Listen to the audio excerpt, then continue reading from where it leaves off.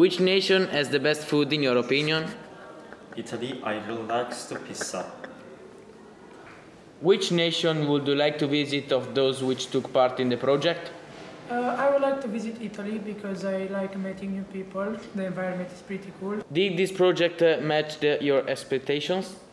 Uh, yes, uh, it is. Uh, I really like this project uh, because uh, I could make uh, new friends. Uh, I, c- I had a very fun experience. I saw a lot of picturesque views of mountains, uh, etc. Uh, also, I um, I worked uh, in um different topics uh, about climate change, about global warming. Do you think this experience improved you on a personal level and why? Yes, I think uh, because I met new people. I have I make uh, more friendships for other countries. Do you think that this project is useful and why?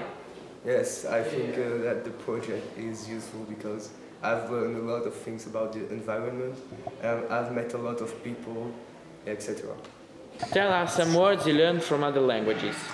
Well, I went in Portugal uh, one years ago and uh, I learned uh, uh, how to say um, that I am 18 years old and it's uh, I, Yo tengo 18 años.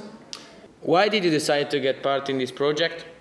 I decided to participate in this project because I think that it is one of the best experience that we will have in our entire life because um, we will get uh, and become more citizens and uh, I think that it is completely necessary change our behavior and be more um, sustainability people.